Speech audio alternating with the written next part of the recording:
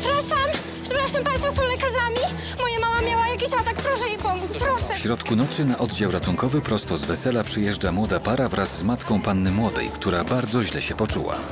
Pewnie, że też bym wolała zostać na swoim własnym weselu, ale jak coś by się stało mamie, w życiu bym sobie tego nie darowała. Przepraszam bardzo, to co ja mam tu zrobić, żeby ktoś się mną zająć? Mam tu chwileczkę, zemdleć? chwileczkę, powoli, ma pacjentkę. Na oddziale pojawia się też młody człowiek. Jest przekonany, że jest ciężko chory. Chce zmusić lekarzy, żeby dokładnie go przebadali, bo jest pewny, że umiera. Czy słusznie obawia się o swoje życie? Skąd wy w ogóle macie wódkę? Jarek przywiózł wesela, nie? Pierdziele, jaki... Do szpitala? Czy byście powariowali? Podczas gdy młodzi weselnicy awanturują się przed szpitalem, matka panny młodej przechodzi badania mające ustalić, co jej dolega.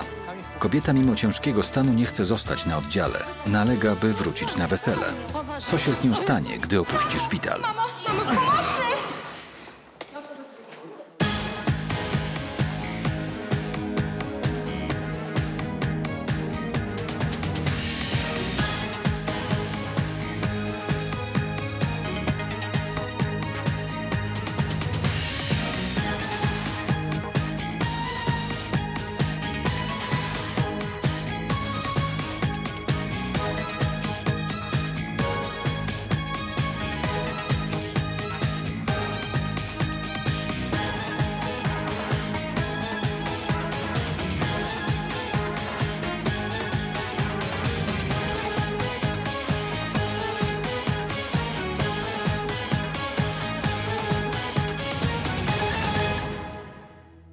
Szpitalny oddział ratunkowy. Godzina 12 w nocy.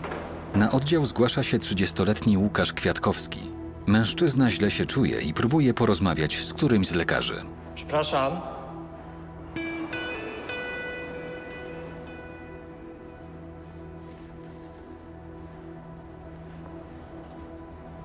Przepraszam.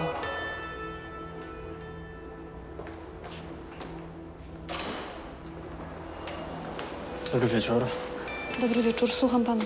Bardzo źle się czuję. Chciałbym, żeby ktoś mnie dzisiaj zbadał. A co się panu takiego dzieje? Bolą mnie plecy i bardzo źle się czuję. A od kiedy pana bolą te plecy? Już od kilku dni, od dwóch dni nie mogę spać. Boję się, że jest to coś poważnego. No dobrze, a był pan u lekarza pierwszego kontaktu? Nie, nie byłem u lekarza pierwszego kontaktu. Co ja mam teraz zrobić? Naprawdę mnie boli, tak w środku, w plecach.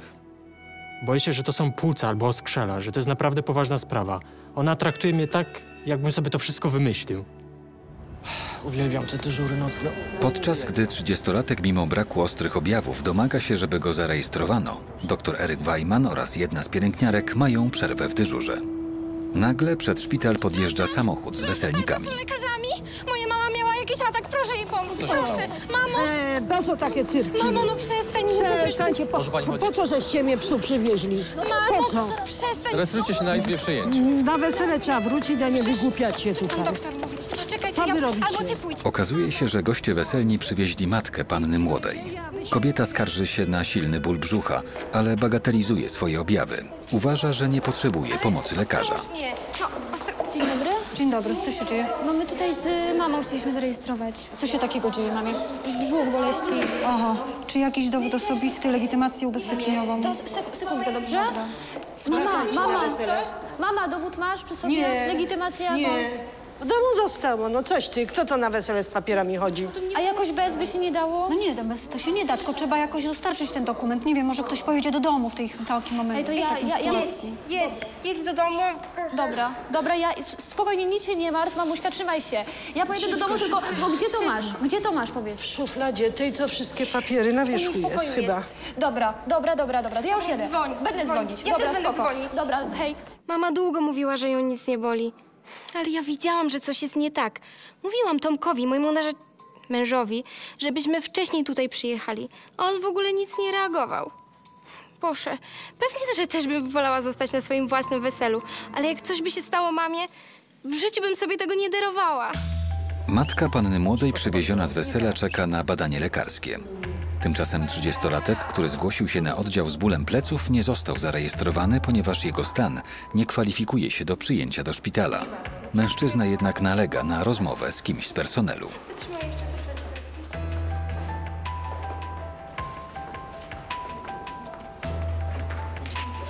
O, dzięki. Przepraszam, ja mam takie Mam pytanie. pacjentkę, przepraszam. Proszę, powolutku, powolutku. Dobry.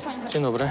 Pani Alina Jawor, proszę. E, nie, panie doktorze, ja bardzo źle się czuję i chciałbym, żeby ktoś mi dzisiaj zbadał. Jest pan zarejestrowany? E, ta kobieta na recepcji ona mi odmówiła, ale bardzo się czuję, bo ją lep... Ale co się właściwie dzieje? Bolą mnie plecy już od kilku dni i boję się, że jest to coś poważnego. Dobrze, ma pan gorączkę albo coś jeszcze? Nie, nic z tych rzeczy. O, o proszę. Dobrze, Proszę, ale pani na państwo Jawor, zostaną tak? na zewnątrz, tak? Proszę Państwo tutaj na czekają leżankę z panią. Przepraszam bardzo, co ja mam tu zrobić, żeby ktoś się mną zająć? Mam tu zemdleć? chwileczkę, powoli, ma pacjentkę. Krzykiem pan nic nie zdziała. Proszę podejść, ja się panem zajmę. Przepraszam bardzo za moje zachowanie, ale boję się, że to jest coś poważnego. Proszę sobie usiąść. Jest środek nocy. Michał przyjął tego chłopaka, bo był w pobliżu, no i skończył akurat badać innego pacjenta. Normalnie to powinienem go odesłać do przychodni. Takie mamy procedury, nawet jeżeli pacjent się bardzo źle czuje. Tutaj zajmujemy się tylko ostrymi przypadkami. E, mówi pan, że bolą pana plecy, tak? Tak, już od kilku dni. Czytam na internecie, że to może być coś poważnego. W internecie. Tak, że to może być nawet rak płuc. Ja nie palę, ale podobno to nic nie znaczy. Tak, i założę się, że od kiedy pan przeczytał, ból jest silniejszy, prawda? Dobrze, ma pan jakieś inne objawy? Yy, ból żołądka, głowy, bezsenność? Nie, ja wiem, co pan myśli, że to stres, nad- nadmiar pracy, nic z tych rzeczy. Ja, wydaje mi się, że to jest coś innego i jest to poważna sprawa. Dobrze, a ten ból, o którym pan mówi, jest jaki? Kłujący, uciskający, palący, narastający? Raczej kujący, szczególnie kiedy biorę głęboki oddech. Dobrze, a w którym miejscu pana boli? Tak tutaj po prawej stronie. Z tej Tutaj? strony. Tak. Dobrze, jak pan bierze oddech, jak pan się jakoś porusza, to Tak jak powiedziałem, cały czas mnie boli, ale kiedy biorę głęboki oddech albo wykonuję jakieś ćwiczenie, to wtedy Dobra, ból dobra. narasta. A miał pan jakiś, jakiś uraz, uderzył się pan, upadł? Wie pan, taki ból to może być na przykład złamane żebro. Nie, nie miałem takiej sytuacji.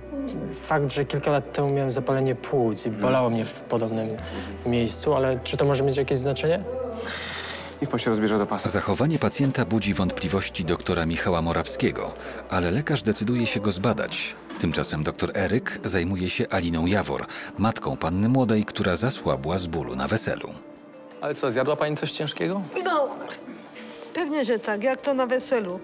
Gorąka w piwie była taka pyszna, że palce lizać. I co, i po tej golnetce się wszystko zaczęło? No, tak, doktorze, Niech pani oddycha.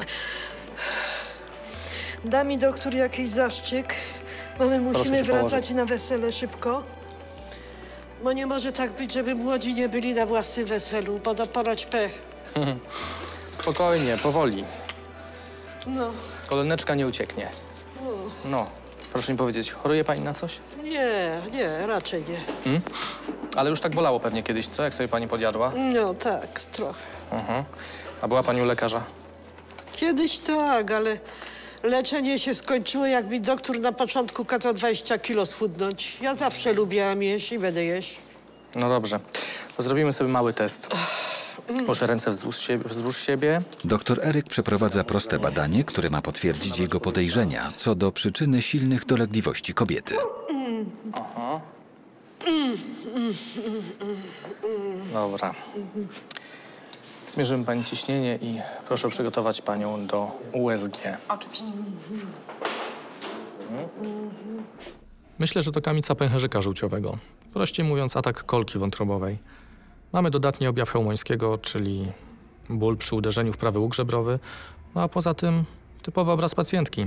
Kobieta po 40 otyła, u której pojawiają się bóle po obfitym, tłustym posiłku. Goloneczka. Co jak co, ale pacjentki prosto z wesela jeszcze nie miałem. Podczas gdy matka panny młodej jest badana na oddziale, jej córka szuka świeżo poślubionego męża, który zamiast wrócić do niej na izbę przyjęć, dobrze bawi się z kuzynami przed szpitalem. Tomek! O, moja piękna rzeczka. Czemu mnie nie wołałeś? Justysia! Justysiu, i mi tu teraz? Gdzie ty byłeś? Miałeś zaraz wrócić. No to jestem, nie? Słuchaj, mama leży tam na oddziale, cały czas ją badają, a ty co? Dziewczyna jest zdenerwowana i zaskoczona zachowaniem męża, który w ogóle nie przejmuje się stanem zdrowia jej matki. Usiłuje przemówić mu do rozsądku. No Jarek przywiózł z wesela, nie? Pierdziele, jaki... w- Do szpitala? Czy wyście powariowali? Tomek, chodź, proszę cię, chodź, chodź, chodź do środka, chodź. Nie, nie, nie, nie, ja zostaję z nimi. Jak to zostajesz z nimi? Normalnie. Proszę bardzo. Chodź, sobie chodź, chodź, chodź. Idiota. No pięknie. Tomek jest pijany, a ci jeszcze leją w niego wódkę. Przecież go proszę, tu chodzi o moją mamę, a on co? Zachowuje się tak, jakby go to nic nie obchodziło. Już mam go dość. Jak on może mi to robić? Dziękuję.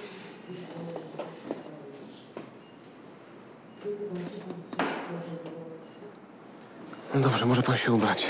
Doktor Michał kończy badać Łukasza Kwiatkowskiego, który narzeka na niepokojący ból w plecach. Wszystko wskazuje na to, że chłopak wyolbrzymia swoje objawy i nie dolega mu nic poważnego. Proszę pana, ja panu wierzę, tylko ja nie znajduję przyczyny bólu.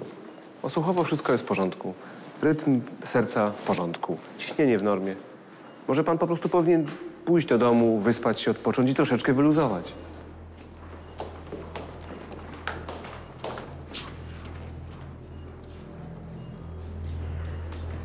Chyba, że jest coś, o czym pan mi nie powiedział.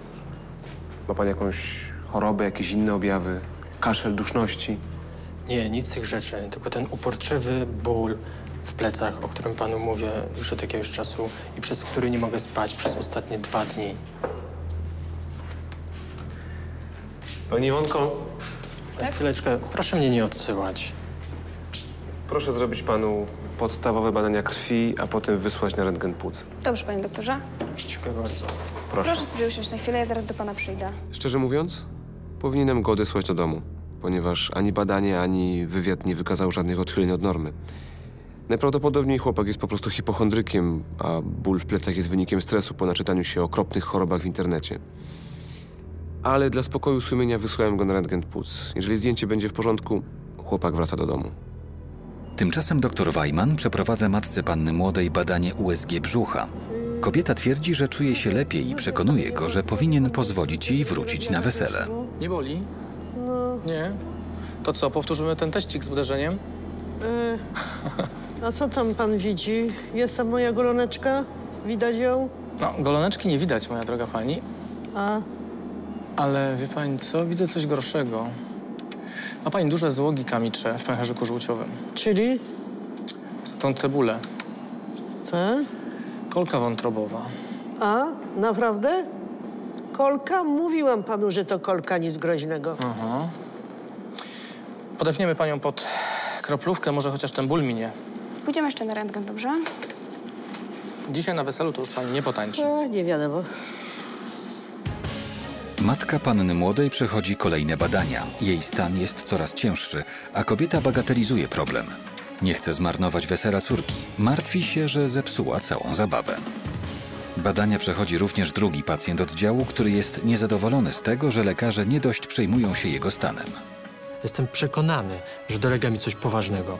To by chciał usłyszeć wszystko, tylko nie to, że pan jest zdrowy, tak? No, my wracamy na wesele. Pacjentka ryzykuje i na własną rękę chce natychmiast opuścić szpital i wrócić na wesele córki. Lekarz miły, ale ja po swojemu. Ja muszę wrócić na wesele. Gdy osłabiona bólem wychodzi ze szpitala, nagle traci przytomność. Mamo, mamo, pomocy! Przepraszam, państwo są lekarzami? Moja mama... Do szpitala przyjeżdżają weselnicy. Na przyjęciu matka panny młodej nagle bardzo źle się poczuła. W ciężkim stanie młoda para przywozi ją na oddział. Pewnie, że też bym wolała zostać na swoim własnym weselu. Ale jak coś by się stało mamie, w życiu bym sobie tego nie darowała. Bardzo źle się czuję. Chciałbym, żeby ktoś... Na oddziale jest też młody człowiek przekonany, że jest ciężko chory, choć lekarze nie znajdują przyczyny jego stanu. Mam tu zemdleć? Chwileczkę, powoli, ma pacjentkę. Skąd wy w ogóle macie wódkę? No Jarek przywiózł z wesela, nie? Matka panny młodej przechodzi badania. Coraz gorzej się czuje. Lekarze muszą szybko ustalić, co dolega kobiecie. Pójdziemy jeszcze na rentgen, dobrze? Dzisiaj na weselu to już pani nie potańczy. E, nie wiadomo. Ból przy kolce wątrobowej jest zazwyczaj tak ostry, że pacjent nie może się nawet ruszać. A tu proszę. Kobieta nie myśli o niczym innym, tylko o tym, jakby tu szybko wrócić na wesele. Jezus, Paulina, już nie mogę z tym Tomkiem. Nie W tym samym czasie w izbie przyjęć czekają zdenerwowane córki pacjentki. On w ogóle się nie, nic się nie przyjmuje, co z mamą? Słuchaj, spokojnie, spok tacy są faceci. Stój, oddychaj, oddychaj. Ale dzisiaj no. wzięliśmy ślub. A on co? Już nie mogę. To jest twój dzień, nie, nie przejmuj się, chodź, chodź do mnie, chodź. Chodź dziewczyno. Tymczasem po wstępnych badaniach 30-letni Łukasz Kwiatkowski wraca do rejestracji. Witam ponownie. Pan doktor da mi skierowanie na rentgen. Widzi pani, jednak coś mi dolega. Zobaczymy. Dowód osobisty pana poproszę. Proszę bardzo. Legitymacji ubezpieczeniowej pan oczywiście nie ma. Tak się składa, że mam. Poproszę też. Kosz jest to. W porządku. Proszę tutaj dokumenty wypełnić z dwóch stron. Na odwrocie też i Mamo! podejść później do... Mamo, i co? Nic. Jak Kolka. nic? Dostanę Kolka? zastrzyk i zaraz mi przejdzie, tak. Wracajcie nie na wesele. Wracajcie na wesele. A, tam. Ja tam zaraz dojadę, tylko mi przejdzie dyko. Lekarze zdiagnozowali u matki panny młodej kolkę wątrobową. Oznacza to, że stan kobiety jest na tyle poważny, że powinna zostać na obserwacji do rana. 50-latka jednak nadal nie przejmuje się swoimi dolegliwościami, tylko tym, że zepsuła córce wesele. Dziewczynki, wracajcie na wesele. Nie ma sensu, żebyście tu ze mną byli. O, o, a co mi pani tam daje? Teraz coś e, na uspokojenie. Tak? No, nareszcie. To, Justi, to wy chociaż jedźcie, dobra? Ja tutaj z mamą posiedzę, zostanę. Przecież nic się nie będzie działo. Wiesz co, teraz ja nawet nie chcę tam wracać. Dlaczego? A co się stało? Pokłóciliście się? Wyszłam za mąż za kretyna i tyle. Eee, to wszystko. Niespodziewanie do sali szpitalnej próbuje dostać się pijany pan młody. Mężczyzna chce porozmawiać z żoną i przekonać ją, żeby wrócili na wesele. Jeszcze tutaj go... Idź. Mm. Za Proszę panią, to mój zięć. Jaki wstyd. Dobrze. Jeszcze tutaj Idź, pijany idź do przyszedł? niego. Jak mam do niego iść? Widzisz, jak on się zachowuje? Idzie pogadać z nim. Ja wiem, że... Ja wiem, że to pani zięć, ale on po prostu nie może tędy. No, cieszę się, że z mamą wszystko w porządku. No, w sumie od początku wydawało mi się, że Justyna trochę przesadza. Ona tak lubi. Tak samo z tym Tomkiem. No, ciągle ma jakieś pretensje. Ostatnio prawie ślub odwołała, no bo znowu coś jej nie pasowało. No ale mam nadzieję, że w końcu to się wszystko wyprostuje, prawda? No bo Tomek ją kocha. Tymczasem w pracowni rentgenowskiej Łukasz Kwiatkowski przygotowuje się do prześwietlenia klatki piersiowej. Zapraszam pana tutaj do tej ścianki. Przytulić się tutaj do tej ścianki. Całym ciałem. Ale to jest zimne. Jest taki, jakie ma być. Nic się proszę nie ruszać.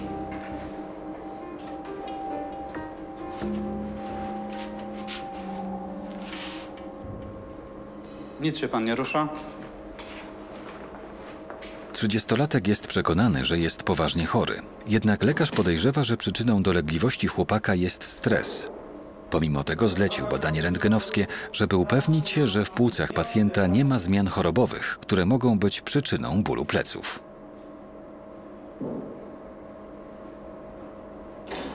Może pan oddychać, to wszystko, dziękuję. Wszędzie piszą, że to najlepszy szpital w tym mieście, a ja widzę, że nikt nie traktuje mnie tutaj na serio. Zapewne uważałem, że sobie to wszystko wymyśliłem. Jestem przekonany, że dolega mi coś poważnego. W tym samym czasie w izbie przyjęć panna młoda jest załamana z powodu kłótni z mężem, który znowu zniknął z kolegami. Dziewczynie jest przykro, że została sama. Nieoczekiwanie w drzwiach pojawia się pijany pan młody z kuzynami. Mama leży na oddziale, a ty co? No, a, ale co, dzieje się coś? No, na szczęście na razie nic. No widzisz, mamie nic nie jest. Zamówiłam taksówkę, choć wracamy, no. Ja nigdzie nie jadę. No, ale Justi, chcesz tu kiblować bez sensu, no? Tak, chcę Chodź. zostać z mamą, dopóki... Halo, ale ciszej troszeczkę. Odbiło ci? Odbiło ci? Jak ty się w ogóle do mnie odzywasz? No bo histeryzujesz, twoja Jak mama nic nie histeryzuję? jest, no. Jak nic Paulina nie jest? mogłaby z nią zostać. Czy to jest takie dziwne, że chcesz z żoną wrócić na własne wesele? Też chcę zostać. Wiesz co, jak, jak chcesz sobie jeść? Grzesiek, chodźcie. Dzwonię po taksówkę.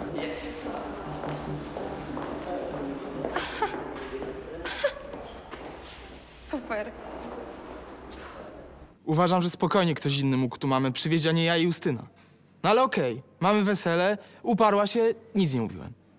Ale teraz to już nie rozumiem, dlaczego mamy tu bez sensu kiblować. Przecież chyba nie ma nic dziwnego w tym, że chciałbym spędzić tą noc z żoną, a nie w szpitalu z jej mamusią. Godzina trzecia w nocy. Po awanturze ze świeżo poślubioną żoną, pan młody wyszedł ze szpitala i razem z kuzynami wrócił na przyjęcie weselne. Natomiast Łukasz Kwiatkowski czeka na lekarza z gotowym zdjęciem rentgenowskim i bardzo się niecierpliwi. Już mam to zdjęcie. Ale to musimy pokazać lekarzowi, nie mnie. A gdzie są moje wyniki badań? Nie ma Tutaj? pana wyników badań, przepraszam. Tymczasem na oddział ratunkowy przyjeżdża karetka. Ratownicy medyczni przywieźli ofiarę poważnego wypadku samochodowego. Mężczyzna wymaga natychmiastowej pomocy dyżurującego lekarza. Panie doktorze, wypadek mężczyzna 39 lat, siedem na miejscu pasażera. Rana kłuta głowy z odłamkami szkła. Słyszy mnie pan? Tak, słyszę. Jak się pan nazywa? W izbie przyjęć jest również siostra panny młodej, zmęczona całonocnym czekaniem na poprawę stanu zdrowia mamy.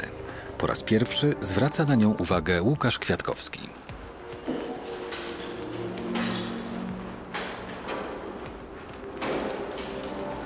Hej, może w czymś ci pomóc? Wiesz co, chętnie, jeśli możesz. Wiesz co, te automaty często się blokują. Ale spróbujmy. Jaką kawę pijasz? Białą. Dziękuję ci bardzo. Dzięki. Wiesz co, spróbujmy jeszcze raz. O, Trzymaj, biała kawa. dziękuję ci bardzo. Proszę bardzo. Cześć, Łukasz. Cześć, Paulina. Cześć. E, słuchaj, jak było na weselu? No, krótko. A co się stało w ogóle? Wiesz co, no mama chora, no ale lekarze mówią, że wszystko jest okej, więc niedługo powinno być, być już dobrze. A co z tobą? Wiesz co, od kilku dni mam jakiś uporczywy ból w plecach. Od dwóch dni nie mogę zasnąć i dlatego chciałem sobie zrobić konkretne badania i porozmawiać z jakimś lekarzem, który podchodzi kompetentnie do swojej pracy. Kwiatkowski! No, to jeden z nich. Potrzymasz? E, jasne, powodzenia. No, do zobaczenia. Ma pan rentgen? Dzień dobry, panie doktorze. Tak, mam, ale wydaje mi się, że to zdjęcie nie jest zbyt dobrze zrobione i jest nieostre. Tak pan myśli? Tak, tak jest moje zdanie. A poza tym, czy ma pan już moje wyniki badań? Tak, owszem, bardzo proszę. Pacjent daje lekarzowi swoje zdjęcie rentgenowskie. Jest jednak wciąż niezadowolony, że nikt nie traktuje poważnie jego dolegliwości. Ma nadzieję, że wyniki przeprowadzonych badań przekonają lekarza, że nie wymyślił sobie choroby.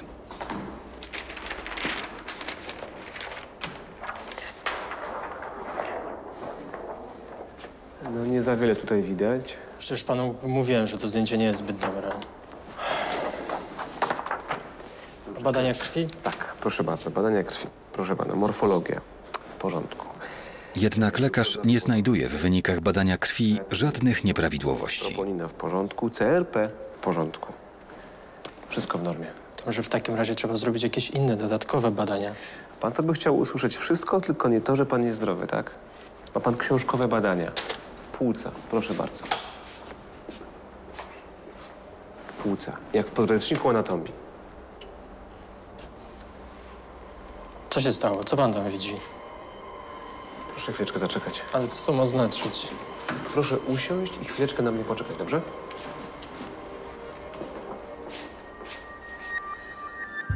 Doktor Morawski jest zaskoczony, bo zauważył na zdjęciu płuc 30-latka coś niepokojącego. Lekarz ma wątpliwości, ponieważ to, co zobaczył, może być błędem aparatu rentgenowskiego, ale może też być zmianą chorobową zagrażającą życiu pacjenta. Postanawia skonsultować się z doktorem Erykiem, który zajmuje się ofiarą wypadku samochodowego. Chce mieć pewność, że nie zlekceważy poważnego objawu. A co jest mistrzu? Patrz. Ledwo już patrzę na oczy. No ja to miałem godzinę temu. No, patrz, patrz, patrz. No jest jakiś cień. Może... może wada aparatu. Albo płytka niedodmowa. Czytałem o takim przypadku. Płytka niedodmowa to zaburzenie upowietrznienia płuc. Krótko mówiąc, to jest fragment płuc, który nie otrzymuje tlenu. Przyczyny mogą być bardzo różne, nawet tak poważne jak zator. A zator to jest bezpośrednie zagrożenie życia. Tymczasem na sali obserwacji Alina Jawor poczuła się na tyle dobrze, że mimo wyraźnych zaleceń lekarza nie zamierza zostać w szpitalu. Ale to jednak się pani uparła, tak? Dlaczego? Uparła się pani jednak, tak? No, my wracamy na wesele. O, ja na pewno nie wracam. Ale lekarz mówił, że musi pani zostać na obserwacji. A lekarz, lekarz miły, ale ja po swojemu. Ja muszę wrócić na dobrze. wesele. No dobrze, jak pani chce. Ale proszę na tym łóżku nie siadać, dobrze? Jak pani chce, tylko musi pani to zgłosić lekarzowi, dobra? Oczywiście. Bo to tak nie może Pacjentka ma prawo opuścić szpital na własne żądanie i pielęgniarka nie może jej tego zabronić. Stan kobiety może jednak w każdej chwili dramatycznie się pogorszyć. własne żądanie. Nie ma sprawy. No dobrze, no to proszę. Mamo, ja na tutaj... pewno dobrze się czujesz. Pani decyzja. Słuchaj, musimy wracać na wesele. Za chwilę będzie twoja noc poślubna. Musisz się z Tomkiem pogodzić. Nie ma sprawy. Jedziemy. Gdzie torebka? Tu jest, tu. W tym samym czasie dr Morawski ponownie rozmawia z Łukaszem Kwiatkowskim. Niepokojąca zmiana, którą zobaczył na zdjęciu płuc chłopaka, skłoniła go do szczegółowego wywiadu chorobowego z pacjentem. Lekarz próbuje dowiedzieć się, co mogło doprowadzić do stanu, w którym znajduje się 30-latek. A miał pan w ostatnim czasie jakieś operacje, jakiś uraz? Nie, nie miałem ani operacji, ani urazu. A ćwiczy pan jakieś sporty? Uprawia pan coś? Od kilku tygodni chodzę na siłownię, ale to wszystko. Na siłownię? Tak. A brał pan może przypadkiem jakieś sterydy? Nie, nie brałem takich rzeczy. Wie pan, to ważne, bo sterydy mogą powodować zator. Tak jak powiedziałem, nie brałem takich rzeczy. A czy pan uważa, że to może być zator? Uważam, że muszę to wykluczyć. A czy są jakieś dodatkowe badania, przez które można to sprawdzić?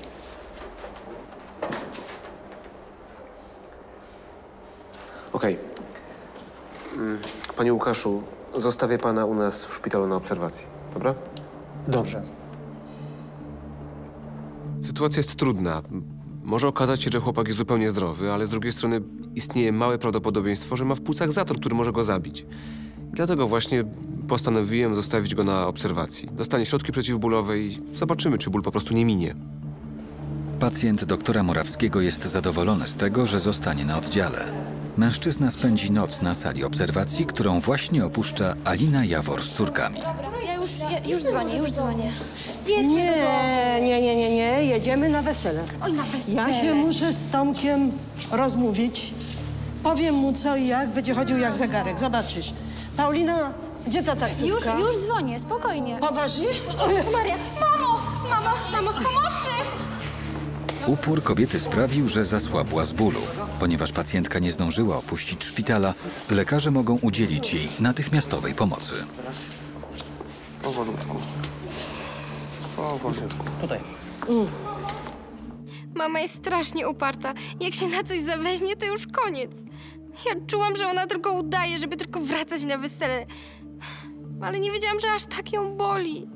Boże, teraz znowu ją badają?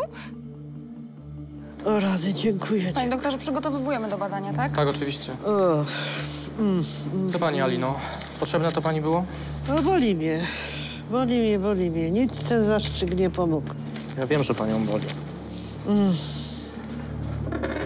Zobaczymy jeszcze raz, co tam. Druga pani, Kamil wpukuje się pani do pęcherza żółciowego. Poważnie? To co to znaczy? To znaczy, że jest pani w naprawdę ciężkim stanie. Zabieramy panią na obserwację i pod kroplówkę. Dobrze, oczywiście. Już Boli mnie, boli. Kobieta ma dużą wytrzymałość na ból, jeżeli w takim stanie chciała wracać na imprezę. Zablokowany kamień to naprawdę straszny ból. Stan ogólny pacjentki nie jest taki zły, bo nie ma ani żółtaczki, a wspólny przewód żółciowy nie jest powiększony. Myślę, że operacja jednak będzie niezbędna. Kilka godzin później, siódma rano. Dyżur doktora Morawskiego i doktora Wajmana powoli dobiega końca. Do pracy przychodzi ordynator oddziału ratunkowego dr Piotr Wójtowicz. Rozmawia z lekarzami, którzy relacjonują mu przypadki z nocnego dyżuru. Doktor Michał radzi się szefa, co robić dalej z pacjentem, który zgłosił się na oddział z tajemniczym bólem w plecach. Rzeczywiście jest płytka niedodomowa, ale mała. Duszności, jakieś inne objawy? Nie. Saturacja EKG, troponiny? Wszystko w normie. To powinniśmy go wypisać i skierować do poradni na konsultację. Pomimo, że dobry stan pacjenta nie kwalifikuje go do pozostania na oddziale ratunkowym, lekarze postanawiają wykonać dodatkowe badania, aby uzyskać pewność, że 30-latek nie ma zatoru w płucach. Niepokoi mnie ta płytka. Tymczasem na sali obserwacji leży pacjentka doktora Eryka, która zasłabła po kolejnym ataku kolki wątrobowej. Mimo silnych leków stan kobiety nie poprawia się. Do szpitala wraca właśnie jej młodsza córka.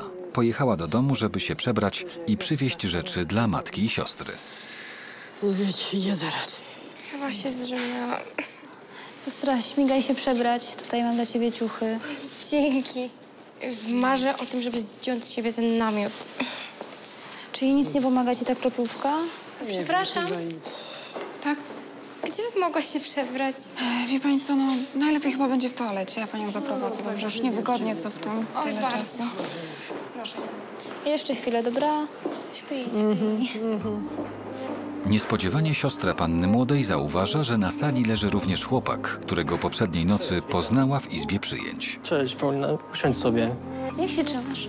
Wiesz co, już znacznie lepiej. Dostałem kroplówkę, tylko muszę zostać na parę dni. Podejrzewałem, że to jest zator. Co ty opowiadasz? Przecież Zator to chyba jakoś u starszych, nie? Wiesz co, nie zawsze. Są jakieś wyjątkowe przypadki, które mm, zdarzają się czasami u młodych ludzi. Spójrz, czytałem na internecie. Od czasu do czasu się to zdarza i po prostu chcą to wykluczyć, dlatego muszę zostać kilka dni dłużej. Jezu, no ja mam nadzieję, że wszystko będzie dobrze. Ponieważ stan pacjentki doktora Weimana wciąż jest poważny mimo podania silnych leków rozkurczowych, ordynator oddziału ratunkowego zdecydował o operacji. Spróbujemy laparoskopowo. A jak się pani czuje, pani Ali, Alino? Tak sobie. Usuniemy pani pęcherzyk żółciowy. Kiedy pani jadła ostatnio? Niedawno. Jakieś trzy godziny przed tym, jak się tu pojawiła. A, przepraszam, bo siostra przyniosła krokieciki z wesela. No ale pomimo takiego bólu brzucha? Kiedy to było? Jakoś godzinę temu. No to musimy czekać. Trzeba mieć pusty żołądek do operacji. Panią proszę nie dawać mamie już nic do jedzenia.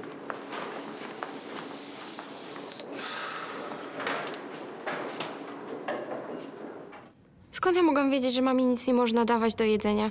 Nie wiem, może byłam zmęczona, nie słyszałam, ale no, nikt nam nic nie powiedział. A teraz ta operacja się opóźni i to wszystko przez nas. Operacja bezpośrednio po jedzeniu nie jest możliwa. W tej sytuacji lekarze będą mogli operować pacjentkę dopiero za kilka godzin. Niestety istnieje niebezpieczeństwo, że w tym czasie jej stan jeszcze się pogorszy. Tymczasem dr Michał otrzymuje wyniki dodatkowego badania krwi, które zlecił pacjentowi z bólem pleców. Parę godzin temu sam myślałem, jak go do domu wysłać. A chłopak może mieć zator. No to... Zrób angiocetek klatki piersiowej i masz stuprocentową pewność. Tak, tylko muszę mieć zgodę Piotra. Angio-CT to specjalny rodzaj badania tomograficznego z kontrastem. Wykonujemy go po to, żeby sprawdzić drożność tętnic. Ciekawy jestem, czy Michałowi uda się przekonać szefa, że chłopaka należy przebadać jeszcze pod tym kątem. Michał, ja cię doskonale rozumiem, ale stan pacjenta nie jest ostry. Poza tym to badanie jest drogie. Obowiązują nas pewne zasady. A jeżeli to jest zatorowość? Przy tak małej płytce mało prawdopodobne. Ale niewykluczone. On ma podwyższone dedimery. Lekko podwyższone. Piotr, ja czytałem o takim przypadku. Przepraszam cię, muszę odebrać ten telefon. Czekaj, mogę zrobić tę diagnostykę? Rób. Halo? No cześć, nie mogłem się dodzwonić do ciebie. Zatorowość tętnicy płucnej może doprowadzić do zatrzymania akcji serca. To jest bezpośrednie zagrożenie życia i wskazanie do natychmiastowej hospitalizacji. Dr Michał zlecił przygotowanie pacjenta do badania tomograficznego, które ostatecznie potwierdzi lub wykluczy jego podejrzenia. W tym czasie matka panny młodej wciąż czeka na zabieg usunięcia pęcherzyka żółciowego. Jej córka informuje rodzinę o stanie zdrowia kobiety. Z mamą. Nie wiem, cały czas ją jeszcze badają. W ogóle to chyba będzie miała operację. No. Ej, a ciociu Tomek wrócił na wesele? Dziewczyna jest rozżalona i dopytuje się, gdzie jest jej mąż. Niespodziewanie chłopak pojawia się przed szpitalem. Ej, ej, ciociu, ja oddzwonię do ciebie, dobrze? No pa. Zachowałem się jak dupek i kropka. Tomek, zostawiłeś mnie tutaj! Pan młody chce przeprosić żonę za to, że bawił się z kolegami, podczas gdy ona siedziała przy łóżku chorej matki. Dziękuję. Pięknie. No a co z mamą? Jak się czuje? Badania lekarskie wykazały, że stan młodego mężczyzny przyjętego na oddział z bólem w plecach jest rzeczywiście bardzo poważny. Jego życiu grozi duże niebezpieczeństwo. Niech mi pan jeszcze jedną rzecz powie. Kiedy zaczął pan chodzić na siłownię, brał pan jakieś sterydy, prawda? Stan zdrowia mamy wcale nie jest dobry i... Zachowanie matki panny młodej doprowadziło do komplikacji. Ciśnienie, cukrzyca, ostatecznie nawet zawał. Do szpitala prosto z weselnego przyjęcia trafia 50-letnia matka panny młodej. Kobieta skarży się na silne bóle brzucha. Drugim pacjentem jest młody mężczyzna, przekonany, że jest ciężko chory. Lekarze, mimo przeprowadzenia wielu badań, podejrzewają, że pacjent symuluje. Okazuje się jednak, że w płucach mężczyzny są niepokojące zmiany. Poważnie? Uparta matka panny młodej opuszcza szpital. Chce wrócić na wesele córki. Jednak jej poważny stan i silny ból sprawia, że kobieta mdleje na korytarzu. Konieczna jest natychmiastowa operacja. Trzeba mieć pusty żołądek. Młoda para, która pokłóciła się z powodu choroby matki, próbuje spokojnie porozmawiać. Czy uda się im opanować pierwszy małżeński kryzys?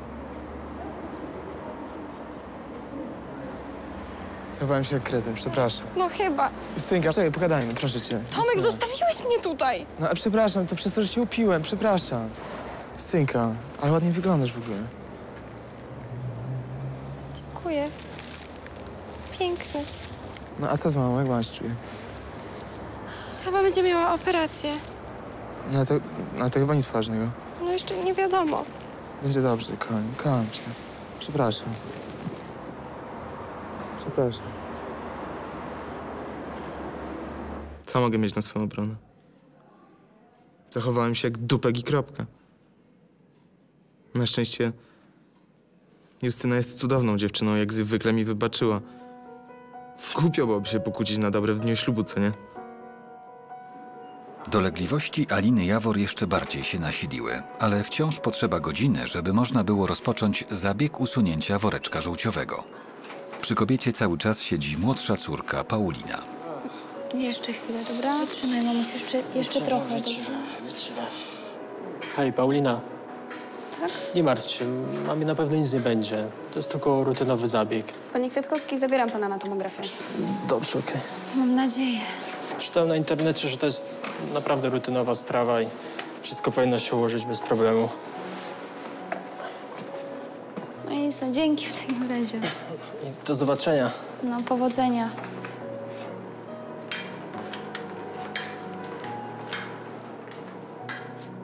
No, mój pierwszy chłopak miał na imię też Łukasz. Yy, w sumie był podobny do niego troszkę.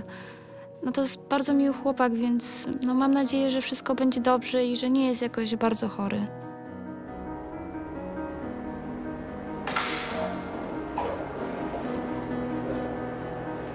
Wkrótce rozpocznie się badanie tomograficzne 30-letniego pacjenta doktora Morawskiego. Lekarz będzie obserwował przebieg badania, które ma na celu sprawdzenie drożności tętnicy płucnej pacjenta. Za chwilę będzie jasne, czy w jego płucach utworzył się zator zagrażający jego życiu.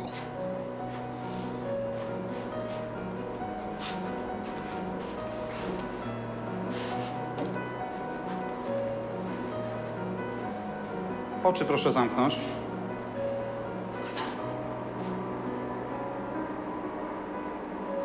I nic się proszę nie ruszać.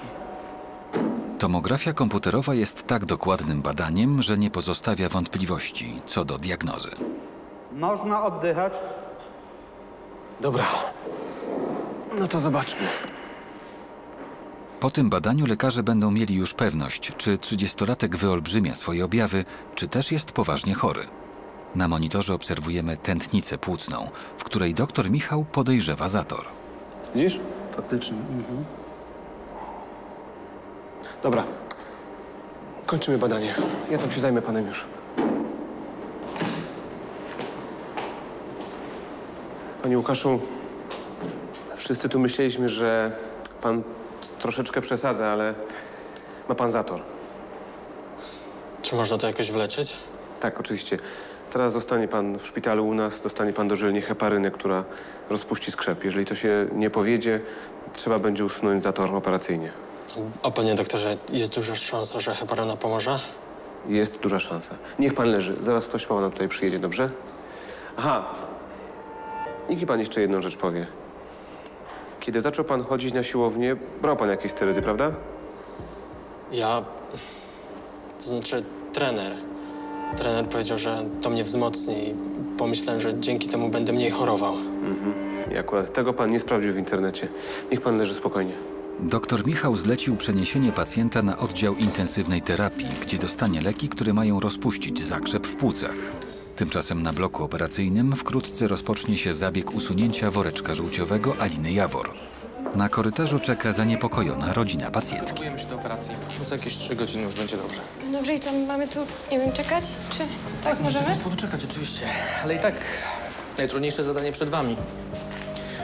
Mamy koniecznie, trzeba przekonać do zmiany trybu życia, do zmiany diety. Żadnych goloneczek. Chyba chyba nie zna teściowej. Tomek! Ale ja mówię poważnie. E, stan zdrowia mamy wcale nie jest dobry i jeżeli nie zmieni przyzwyczajeń żywieniowych, e, grozi jej nadciśnienie, cukrzyca, a ostatecznie nawet zawał. Dobrze, będziemy starać się coś zmienić.